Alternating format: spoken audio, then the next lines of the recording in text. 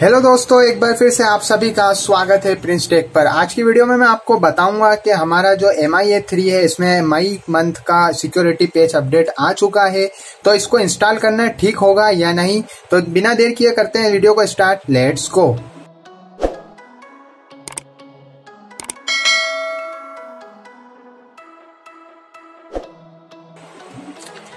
तो यहाँ पर मैं आपको बता दू, सबसे पहले आप वीडियो को पूरा देखें, उसके बाद जो है अपने मोबाइल फ़ोन को जो है अपडेट करिए। इसके बाद मैं आपको रिव्यू भी दूँगा कि इसके अंदर क्या क्या जो है बग फिक्स हुए हैं। नेक्स्ट वीडियो में और क्या क्या चीज़ें जो है नई एड हुई है या फिर नए बग्स आए तो यहाँ पर मैं सबसे पहले इसको कर लेते हैं अपडेट ये ओनली 40 एम का अपडेट है, यहाँ पर आप देख सकते हैं ओनली 40 एम का है। तो ज़्यादा कुछ हम होप रख नहीं सकते हैं कि इसमें कुछ नई चीज़ें ऐड हुई हो। लेकिन फिर भी हम यहाँ पर इसको मोबाइल डाटा से इसको अपडेट कर लेते हैं। फिर हो सकता है कि कुछ माइनर से बग फिक्स हुए हों।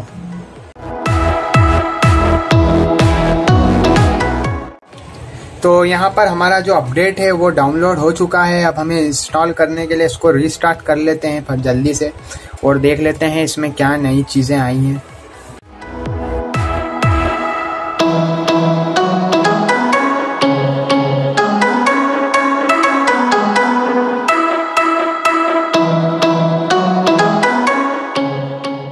तो यहाँ पर आप देख सकते हैं, जो अपडेट है, वो इंस्टॉल हो चुका है और फ़ोन वापस से रीस्टार्ट हो चुका है।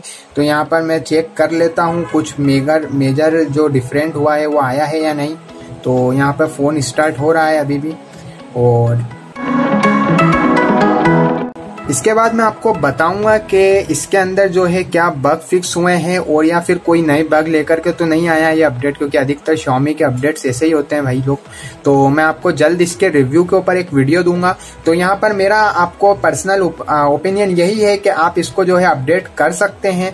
मतलब कोई ब्रिक वगैरह नहीं होगा आपका स्मार्टफ़ोन यहाँ पर आप इसको अपडेट कर लीजिए, कोई प्रॉब्लम वाली बात नहीं है। और अगर कुछ दिक्कत आती है, कुछ बड़ा बग आता है तो मैं आपको उससे पहले ही वार्न कर दूँगा। तो यहाँ पर आप अपडेट कर लीजिए नो प्रॉब्लम डोंट वरी होकर के। और इसके रिव्यू की वीडियो के लिए स्टे कनेक्टेड रहिए। मैं जल्द आपको इसके रिव्यू की वीडियो जल्द ही जल्द कल परसों के अंदर आपको देता हूँ। अगर वीडियो पसंद आई हो तो लाइक करें कमेंट करें शेयर करें अपने दोस्तों के साथ में। और यार चैनल को ज़रूर सब्सक्राइब करें। मैं आपके लिए ऐसी टेक्निकल वीडियोज़ लेकर आता रहता हूँ। Thank you